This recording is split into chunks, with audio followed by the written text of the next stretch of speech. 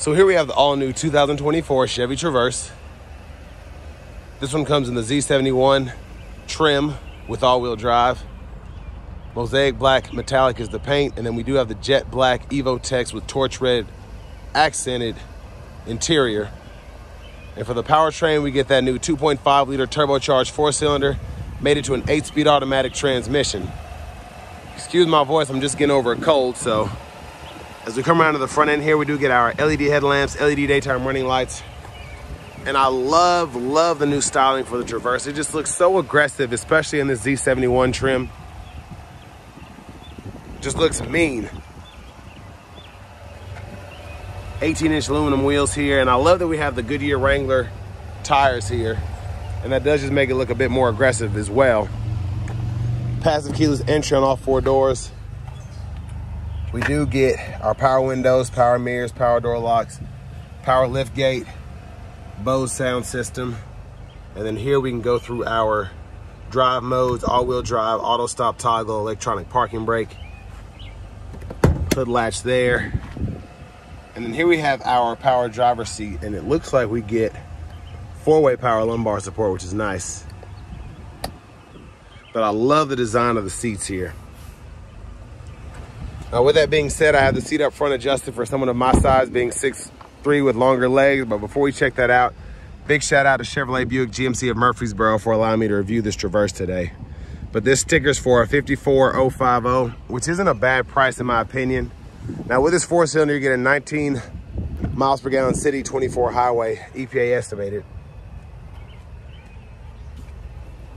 But legroom back here is pretty good even with the optional sunroof here, my headroom is pretty good as well.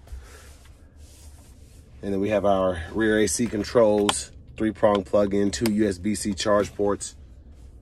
And there's a view of the front from back here. And there's that roof there and the third row right in there. So you can see not too much leg room behind the second row, but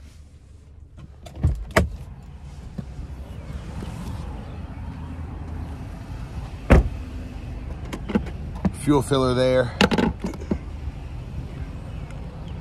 And I really like how they kind of took the design from the Blazer EV. That's kind of the vibe this thing gives me.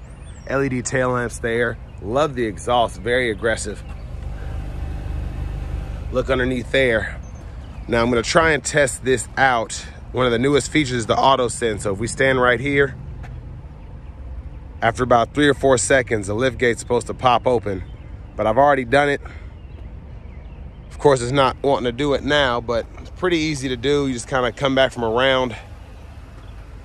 Let me see if I cut the, well, it's probably because I have the hood open actually. So let me show you the engine bay and then we're gonna try and do that. So to the front end here, there's that 2.5 liter turbocharged four cylinder that's mostly covered up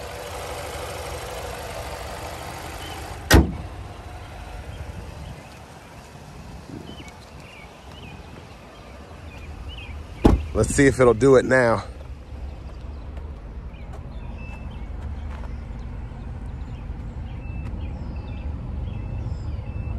All right, there it goes.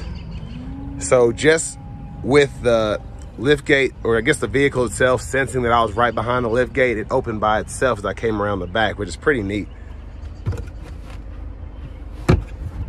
And here we can fold this down when the seat's up far enough.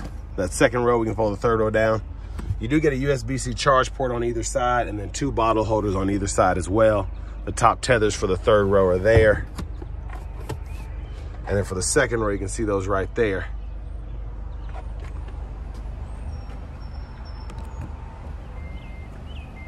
So again, I think that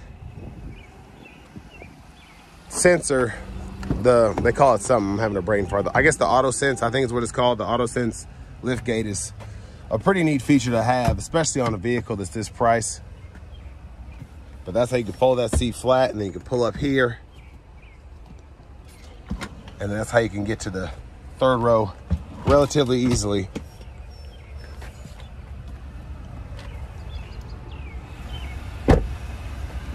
And then our front passenger seat here is manual. I love the trim though for the Z71, just having that throughout. It's subtle, well, I should say it's not doing much, but it does make the, the dash pop quite a bit. And our glove compartment's there. Storage pocket down here.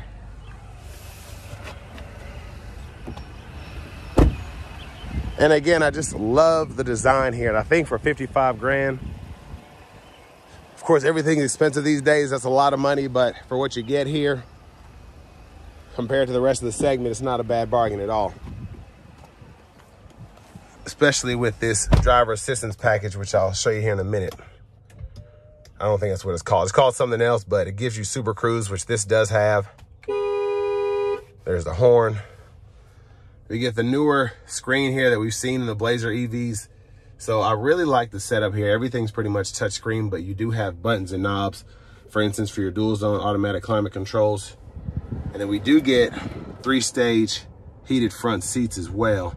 And then I like that everything is pretty easy to do from the screen itself, including the AC controls. So I don't have to go into the actual AC or climate controls here and kind of have to find everything. It's right here for what I need.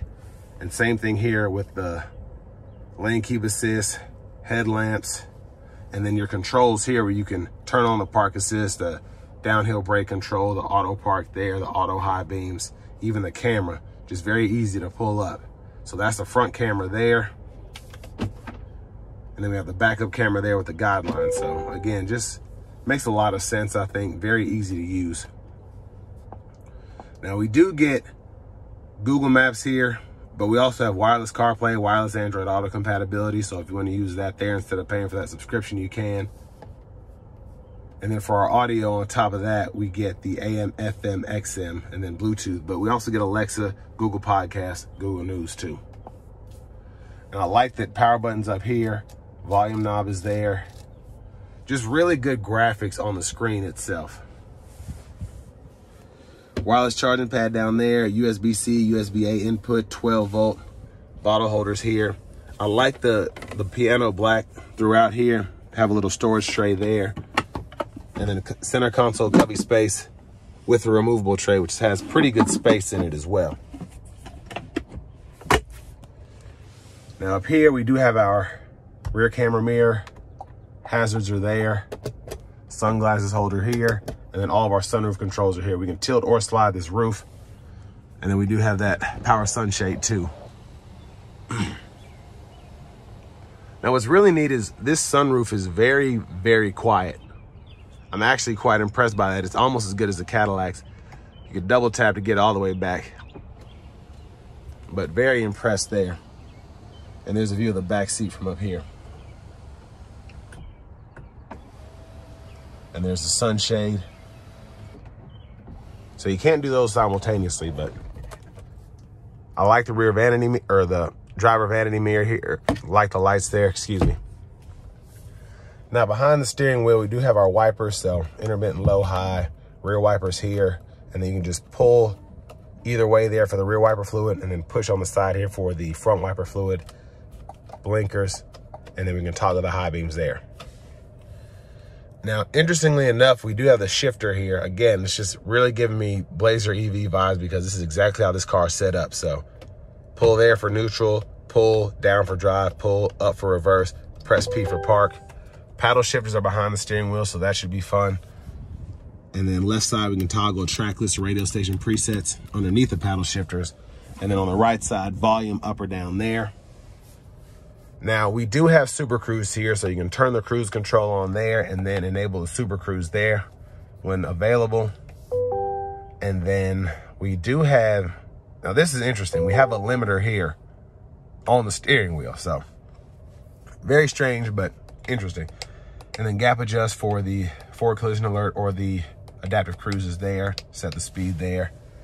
Heated steering wheel toggle is here audio. We can do that and then use this as kind of like a, a dial when applicable here to kind of scroll. And then we have our Bluetooth controls here, voice recognition. And then we can use this to change, get out of here, our views here in the gauge cluster. Push button start. And then those keys are still in my pocket. But here's what the front and the back of the key fob look like, and we do get remote start there. But now for the fun part. Let's go ahead and test out this new powertrain and take this 2024 Chevy Traverse Z71 out on the road for a test drive. So starting the test drive in this Traverse here, I will say it has a very strong four cylinder here with a turbocharger.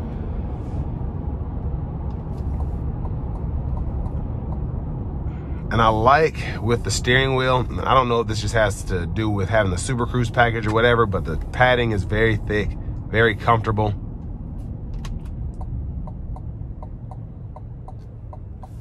But we're gonna test out the driving dynamics and the Super Cruise as we get on the interstate here momentarily.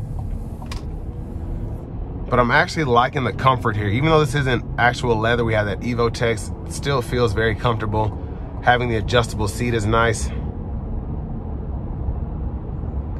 And then just also having that four-way power lumbar support is nice as well.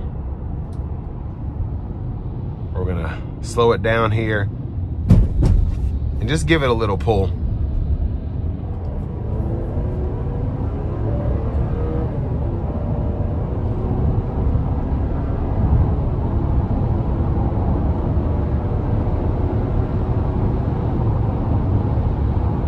Now that was just merging on the interstate. I wasn't flooring it by any means, but it was very impressive how this car got up to speed. Let me see if I can test out the Super Cruise here.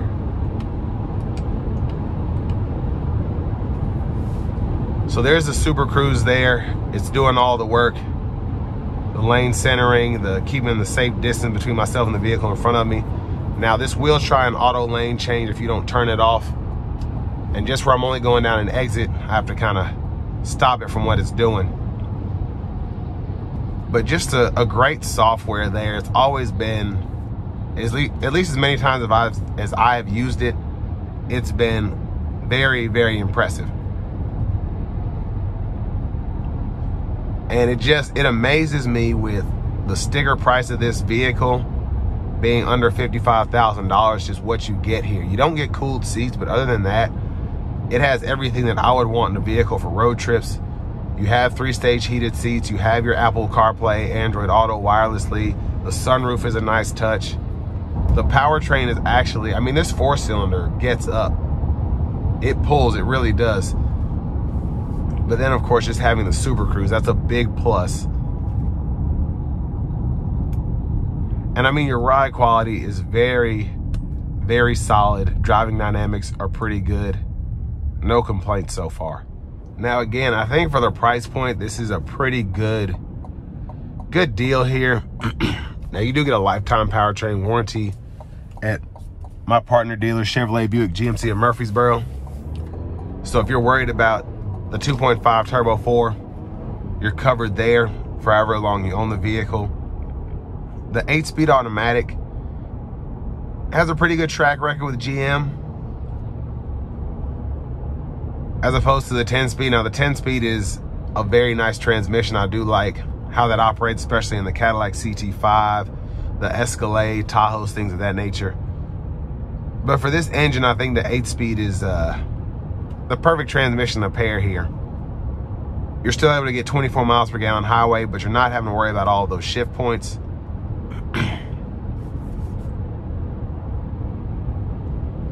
and all in all, I just really I saw this vehicle at the New York Auto Show up close, I guess last month or month before. And now actually seeing it in person, driving it, it is as impressive as it was then. Really more so because this one does have the Super Cruise, actually being able to drive this and realize that you have that. If you do want to take this from the Nashville area here, it's a 12 hour trip to Miami, nine, 10 hour trip to Orlando without stops if you want to go to Disney World, it'll just make that trip that much easier having the Super Cruise here.